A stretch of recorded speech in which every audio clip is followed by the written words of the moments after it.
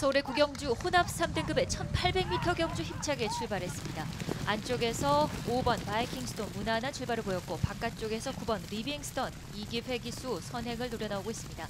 안쪽 4번 노던 타임과 5번 바이킹스톰이 2위 그룹 합류하고 8번 발베니도 빠르게 2위로 권 따라붙으면서 선두는 9번 리빙스턴, 2위는 8번 발베니로 정해졌습니다. 이제 이 코너에 접어드는 시점 선두 9번 리빙스턴과 8번 발베니 그 뒤에 5번 바이킹 스톰이 자리하고 있습니다. 4번 노던 타임은 안쪽에서 4위, 바깥쪽으로 10번 문학선이 5위로 따라붙었습니다. 600kg의 거구입니다. 선두 계속해서 9번 리빙스턴이 지켜가면서 단독 선두 3마신차, 4마신차 앞서 있습니다. 5번 바이킹 스톰이 자연스럽게 속도를 높여 나오면서 8번 발베니와 함께 2, 3위를 계속해서 지켜가고 있습니다. 이제 중간 그룹 말들이 속속 격차를 좁혀 나옵니다. 4위는 3번 히든삭스와 4번 노던 타임의 접전, 바깥쪽 10번 문학선도 계속해서 선두 그룹 뒤쪽 5, 6위권 자리를 지켜가고 있습니다.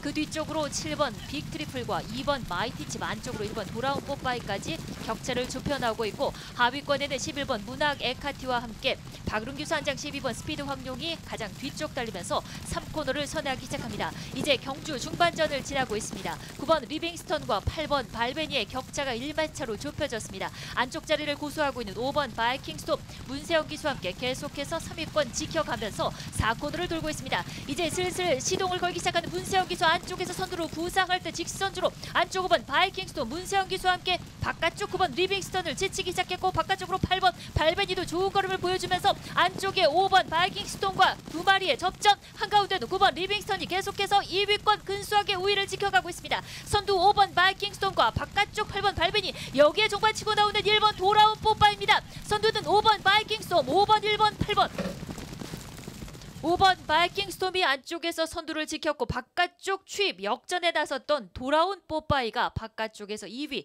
8번 발베니가 안쪽에서 3위를 지켰습니다. 어? 1700. 몰랐어요? 1700에서 했다고요? 네. 나 몰랐는데 진짜 몰랐는데 지금 이 스프린트 때문에 너무 거기에 몰두하고 있는 것 같아요 항상 복귀하고 일주일은 진짜 힘든 것 같아요 그래서 기수라는 직업에 대해서 항상 이게 다치고 나면 다시 생각하는 게 이 직업인데 그래도 하다 보면 내가 할 수 있는 게 그래도 남들한테 보여줄 수 있는 게 이러구나라고 생각하고 어쨌든 열심히 하고 있거든요. 근데 이제 어제 같은 경우는 와 진짜 힘들다. 이게 네 내 머리밖에 안 되는데 이렇게 힘드나? 내가 나이가 먹었나? 막 이런 생각이 들었고 저녁에 이제 경기 끝나고 나서 몸이 회복하는 과정에서 네, 알려드립니다. 정수열 기수, 정수열 지수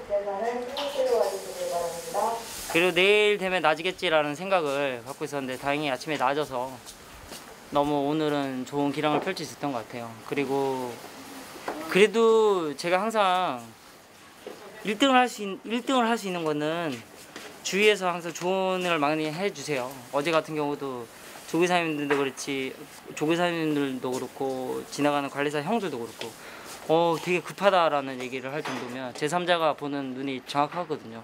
저도 못 느끼는 거 그런 걸 들었을 때 아 기분 나빠지 않고 금방 받아들이는 거의 성격에 대해서도 저한테도 감사하고요. 그리고 뭐 잘 적응해서 오늘 솔직히 진짜 1700에서 몰랐어요. 왜냐면 어제에 너무 힘든 과정이 있었기 때문에 오늘 온리 저기 스프린터에만 집중하고 싶었어요.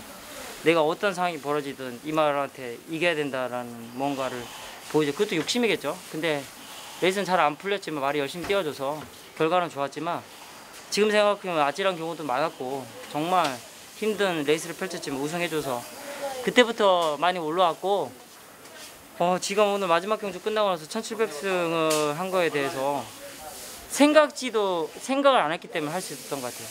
계속 그걸 의식하고 있었다면 계속 빨리 1700승 했어야지 하려면 스프린트도 망쳤을 거고 그 다음 경주도 망쳤, 망쳤을 것 같아요. 그에 대한 의식이 계속 가 있었다면 지금 뭐 기술로서의 말 타는 것에 아까도 얘기했듯이 감사하다고 생각하고 타니까 좋은 결과 어떤 것 같습니다.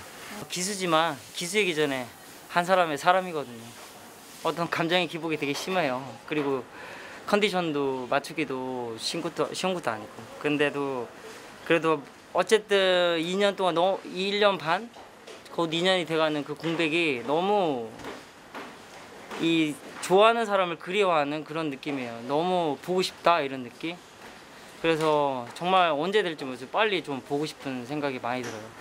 요즘은 예시장에서 가끔씩 실책도 듣고 싶은데 너무 고요함이 저한테는 너무 스트레스인 것 같아요. 오늘같이 시상식 할 때도 어 뭐 팬들이 뭐, 뭐 축하한다는 메시지 뭐 얘기도 너무 듣고 싶은데 그걸 못해서 좀 아쉬운 마음이 많지만 곧 빨리 들어와서 정상으로 돌아갔으면 좋겠어요. 그리고 팬들하고 부딪히면서 싸워가면서 정도 들면서 이게 우리 한국 경마가 이렇게 발전했으면 좋겠습니다. 곧 찾아 뵀으면 좋겠습니다. 스미스에서 알려드립니다. 모든 순위가 끝났으니